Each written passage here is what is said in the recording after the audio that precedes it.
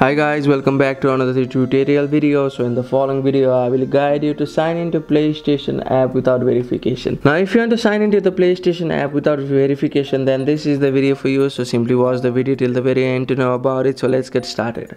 Now to sign in the PlayStation app without verification like the two-step verification, you'll need to have the two-step verification turned off. So to sign in without needing an additional verification is what you can do. So make sure that you have installed the PS app on your device. So if you have not, you may open App Store or Play Store on device and simply open the app on your device and make sure that you are logged into your account. So after logging into your account you should go on the profile icon at the very top right of the screen. And on the profile icon you'll see the option of settings. So click on it. And under settings you'll see the options like account management. So click on the option of account management. And after account management you need to click on the option of security or the option which appears like account information. So if there is an option of account information click on it. And under that you need to click on the option of security. After doing all of it from there you need to simply turn off the twist step verifications on your device and by doing all of it if you're trying to sign in without verification from the next time you won't need to verify yourself and you'll be able to sign in very easily like this. So that's it. That's how you can sign in to playstation account without verification. Thank you for watching the video. Please don't forget to like the video and subscribe to our channel. Thank you